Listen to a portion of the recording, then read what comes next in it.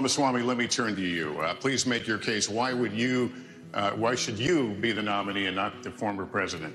I think there's something deeper going on in the Republican Party here, and I am upset about what happened last night. We've become a party of losers at the end of the day. It was a cancer in the Republican establishment. Let's speak the truth. I mean, since Ronna McDaniel took over as chairwoman of the RNC in 2017, we have lost 2018, 2020, 2022, no red wave that never came. We got trounced last night in 2023. And I think that we have to have accountability in our party. For that matter, Ronna, if you want to come on stage tonight, you want to look the GOP voters in the eye and tell them you resign, I will turn over my yield my time to you. And frankly, look, the people there cheering for losing in the Republican Party.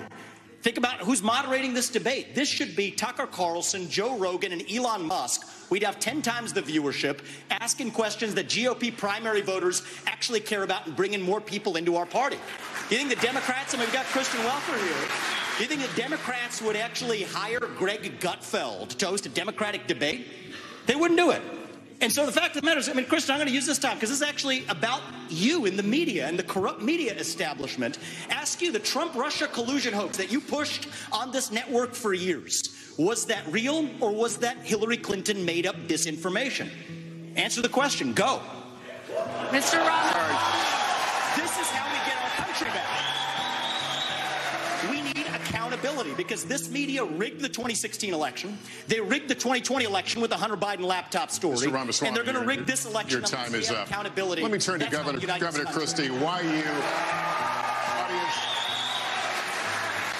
audience, let's not do this. Let, us not do this. Let's let the candidates speak. Uh, Mr. Ramaswamy, any daylight between you and the candidates we just heard on this issue on, on, what you would tell the Prime Minister?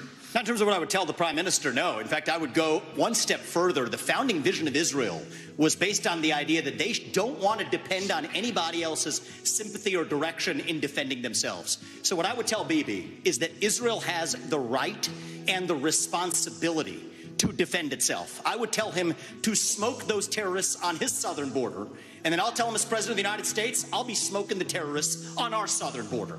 That's his responsibility. This is our responsibility. That's how we move forward. But I want to be careful to avoid making the mistakes from the neocon establishment of the past. Corrupt politicians in both parties spent trillions, killed millions, made billions for themselves in places like Iraq and Afghanistan, fighting wars that sent thousands of our sons and daughters, people my age, to die in wars that did not advance anyone's interests, adding $7 trillion to our national debt. And Joe Biden sold off our foreign policy. Joe Biden's son, Hunter Biden, got a $5 million bribe from Ukraine. That's why we're sending $200 billion back to that same country. The fact of the matter is, the Republican Party is not that much better. You have the likes of Nikki Haley, who stepped down from her time at the UN. Bankrupt or in debt is, was her family. Then she becomes a military contractor. She joins the board of Boeing and otherwise, and is now a multimillionaire. So I think that that's wrong when Republicans do it or Democrats do it. That's the choice we face. Do you want a leader from a different generation who's going to put this country first? Or do you want Dick Cheney in three inch heels? All right, Mr. In which Ramaswamy. case, we've got two of them on stage Mr. tonight. Ramaswamy, thank you. Jewish students across the country are threatened and under attack. What do you say to Jewish students on college campuses who feel unsafe given the dramatic rise in anti Semitism? And what do you say to university presidents and college presidents who have not met the moral clarity moment to forcefully condemn Hamas terrorism? Mr. Ramaswamy, would you like to take that one? Absolutely. I think the scourge of anti Semitism across this country, including at places like my alma maters and places like Brooklyn Bridge in New York, it's sad to see, but here's what history teaches us anti Semitism is a symptom of a deeper cancer in a country and a society that is lost. And we are lost. Several years ago, when I wrote my first book, Woke Inc., I was talking about they were chanting death to America. Death to white people, death to Christians. Nobody was waking up back then. Now it's even bad. Now they're saying death to Israel and worse. So it is wrong, but we have to get to the root cause here. Now, I think it's really important that we do this through leadership not censorship. Leadership means fill that void with purpose and meaning. Dilute this wokeism and anti Semitism to irrelevance. These kids, they have no idea what the heck they're even talking about when they're siding with Hamas over Israel. They are fools. But I also want to caution here if we go the direction of Ron DeSantis or Nikki Haley, with whom I respectfully disagree on this issue, pro censorship, telling student groups to disband. Mark my words. Soon they will say if you question a vaccine and its side effects, you're a bioterrorist. Soon they will say that if you show up at a school board meeting, you're a domestic terrorist. Soon if they say that J6 prisoners should be released, you're an insurrectionist terrorist. So that's where this road ends. We don't quash this with censorship because that creates a worse underbelly. We quell it through leadership by calling it out these university administrators have lost their way, and we need leadership at the top in the United States of America that restores our founding values and that has no place for this kind of anti Semitic hate. That's where I stand while respecting our Constitution. Your time is out. Mr. Ramaswamy, are you persuaded by President Zelensky's urgent new plea? Where do you stand on more funding? I'm absolutely unpersuaded. And uh, I'm actually enjoying watching the Ukraine Hawks quietly, delicately tiptoe back from their position as this thing has unwound into a disaster disaster. The first half of this race, I was the only person standing for it. Now they're actually quietly coming around to being more cautious as they should. Level with the American people here. Ukraine is not a paragon of democracy. This is a country that has banned 11 opposition parties. It has consolidated all media into one state TV media arm. That's not democratic. It has threatened not to hold elections this year unless the U.S. forks over more money. That is not democratic. It has celebrated a Nazi in its ranks, the comedian in cargo pants, a man called Zelensky, doing it in their own ranks. That is not democratic. More facts for you that you won't hear from the mainstream in either party or the mainstream media the regions of Ukraine that are occupied by Russia right now in the Donbass, Luhansk, Donetsk. These are Russian speaking regions that have not even been part of Ukraine since 2014, that other people probably couldn't name those provinces for you. Those are the hard facts. And so to frame this as some kind of battle between good versus evil, don't buy it. And I'd like the likes of the, the sharpest of the war hawks on Ukraine, Nikki Haley, to have some accountability and answer. Do you want to use U.S. taxpayer money to fund the banning of Christians? That is actually what's happening. They're using the Ukrainian Orthodox Church. They have banned them. The Ukrainian parliament just did this last week, supported by our dollars. And I think you owe it to the American people, Nikki, to at least this Mr. one time Ramaswamy, at least condemn, thank you. That's time. At least to Mr. condemn Ramaswamy, their banning you. of Christians. Mr. Ramaswamy, thank you. out of both sides Mr. Ramaswamy, thank you. We asked the questions. Ambassador Haley, Well, she deserves to what your take on more funding for Ukraine? I am telling you, Putin and President Xi are salivating at the thought that someone like that could become president. They would love to The see. fact of the matter is she doesn't answer So the this is what I will tell you. We're is, driving Russia all, into let's China's Mr. remember- hands because of you these had foolish your time to talk. Mr. Ramaswamy, I'm looking for specifics. What would you build? Where would you build it? When would they be in the water? How big would the fleet get? First answer is end the toxic divest to invest program. For people who don't know about that, we're decommissioning ships in the South China Sea. The foundation of war is economics. Rebuild our defense industrial base at home. But here's the dirty little secret. Our actual defense industrial base depends on China for the supply chain, for the F 35 jets, for the ships that we're building. Think about this. Why are we stockpiling that if it isn't to actually be strong against our enemy, China? We depend on them for that just like we depend on them for pharmaceuticals, just like we depend on them for semiconductors. So here's why we can't get tough with China. It's because we depend on them for our modern way of life, and we have to declare economic independence from our enemy. That's the Declaration of Independence that Thomas Jefferson, at the age of 33, would have signed. Today, if he were alive, that's the Declaration of Independence that I will sign as the next president. I do have to recognize that Ron DeSantis was correct about acknowledging Nikki Haley's tough talk when she was ambassador to the UN, calling China our great friend, bringing the CCP to South Carolina. What he left out, though, Ron, and be honest about it, there was a lobbying based exemption in that bill that allowed Chinese nationals to buy land within a 20 mile radius of a military base lobbied for by one of your donors. So I think we have to call a spade a spade. We need politicians who are independent of the forces that increase our dependence on China. My message to Xi Jinping is this you are done buying land in this country. You will not donate to universities in this country. U.S. businesses won't expand into the Chinese market until you play by the same set of Mr. rules. Ramaswamy, You're kicked out of the WTO, and you actually have to have accountability for the COVID 19 pandemic financially, you, which unleashed Mr. hell on the world. We have to hold them accountable. Do you have a number and a plan? I think that we need to increase our naval capacity by at least 20% over the course of the next several years. I think we have to, at minimum, be able to meet our AUKUS agreement standards. Right now, we are at risk of not even being able to meet our AUKUS standards with, with Australia and the UK. So what we need to do is have a plan that reverses the trajectory of the divest Thank to you. invest program you, I'd like to by 20% over the next three years. Governor, Mr. Ramaswamy, uh, we've talked about this. You campaign on TikTok. How do you get TikTok banned if you use it? Well, I, I, I want to laugh at why Nikki Haley didn't answer your question, which is about looking at families in the eye. In the last debate, she made fun of me for actually joining TikTok while her own daughter was actually using the app for a long time. So you might want to take care of your family first. Leave my daughter out of your voice. Adult daughter. The next generation of Americans are using it. And that's actually the point. You have her supporters propping her up. That's fine. Here's the truth. You're just the easy scum. answer is actually to say that we're just going to ban one app. We got to go further.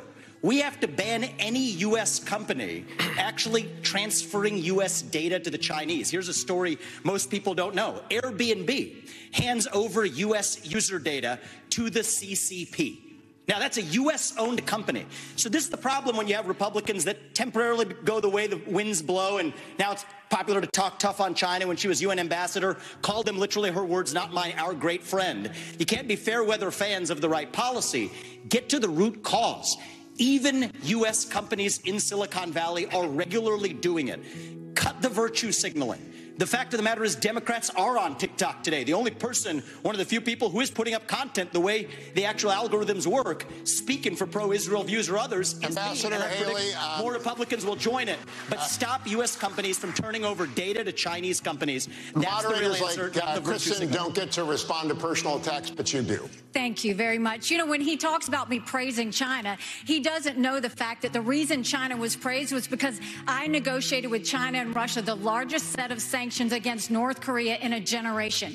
We are the that is literally the reason North Korea stopped testing ballistic missiles. So I said China did good on their part. That was a negotiation you, you could never do. what you said, Nikki. Those are your words, not mine. And so just when own up to you it. You would never you can change your mind. Get That's that allowed. Negotiation but don't done. lie to the people about I what you've said or what you've done in China South Carolina. My entire you have brought them to South Carolina. At the United right Nations. Every day I fought China, and I did it Look at the by making sure no one could get any country. agency heads in UN. I did it by making sure that we called them out on human rights. I did it by making sure that we held them accountable on everything that they did. That's the reason we got out of Human Rights Council. That's the reason we I, called them out. And I have there's not been a day I haven't Nikki, stopped. Senator Scott, it is your turn. Mr. Ramaswamy. made afterwards. Governor, thank you. Mr. Ramaswamy, weigh in on this. Sure. Ways that you can improve people's financial condition in the short term. Right. And as a CEO, the economic question is core to my vision and policy prescription for this country. Increase the supply of everything. It's the law of supplies and demand. Increase the supply of energy. That brings down the cost of energy, grows the economy. Drill, frack, burn coal, embrace nuclear. Increase the supply of labor in this country. Stop using our taxpayer money to pay people more to stay at home instead of to go to work. Increase the supply of housing. People don't talk about this one in the Republican Party. The land use restrictions are constricting the supply of housing. That's making housing more expensive for ordinary Americans across this country. So that's the true answer. And I think it takes a CEO in the White House who actually understands this to get this done. Because Americans at home, they know the Bidenomics is a lie. Prices are going up, interest rates and mortgages to buy your home are going up, but wages have remained flat. That's the hard diagnosis for our economy. And this is about more than just our economy. I say this as a member of my generation. I'm 38 years old. I'm the youngest person ever to run for US president as a Republican. The reason my generation has lost our sense of national pride in part is because people in my generation feel like the American dream isn't available to them. And part of the reason why is we burdened them with four year college degrees that did not serve their head start on the American dream. People will be more proud of a country if we're all making more money in that country this is how we revive national pride and our identity, and it will take a CEO in the White House with zero-based budgeting, by the way, to take on Mr. the federal Ramaswamy, debt to get you. this job done. Mr. Ramaswamy, have you determined if you would touch entitlements and Social Security? What, if any, reforms are you looking at? So this is really important right now. We're working within the last window I believe we will have to actually fix this problem while still leaving Social Security and Medicare benefits for current seniors intact. I'll tell you how. The other candidates assume, like Nikki, that it can't be done. And on her math, she's right about it. But her math assumes $7 trillion of our $33 trillion national debt going to fight wars like in places like Iraq and Afghanistan. Minus that, our national debt would be $26 trillion right now. Then you go to zero based budgeting, which I've proposed as a CEO. It's how I've run businesses, it's how many CEOs run businesses. Don't use last year's budget as the baseline. Start with zero as the baseline and then ask what's actually necessary. 75% headcount reduction. Yes, that is severe in the number of federal employees in the Washington, D.C. bureaucracy. Shut down redundant agencies that should not exist deliver economic growth as a positive tailwind. I think we can get to three, four, maybe even 5% GDP growth if we really take the regulatory shackles off of our economy. And against that backdrop, I believe this is our last best window to be able to take care of our national debt problem through those severe measures, including sacrificing the foreign wars that many bloodthirsty members of both parties have a hunger for. That's the one secret for how we're going to be able to do this, and that requires discipline. So we can't have the first conversation we were having sending foreign aid willy nilly to countries whose national debt per capita is less than ours. Thank you, But Mr. if we do this correctly, I think this is our last window, and it'll take a CEO from the next Thank generation you. to do it. Ramaswamy. Special forces in Mexico shoot them stone cold dead at the border. One thing I just want to say, and how we're talking about this issue is, you know, like Ron, I've actually met many parents across this country who have lost their kids to laced pharmaceuticals that have fentanyl in them. The only thing I would ask Ron, I think you'd be on the same page with me on this. Let's not even call that an overdose. Right. That is not an overdose. That is poisoning. If you put that fentanyl in a Big Mac, we would not call that an overdose.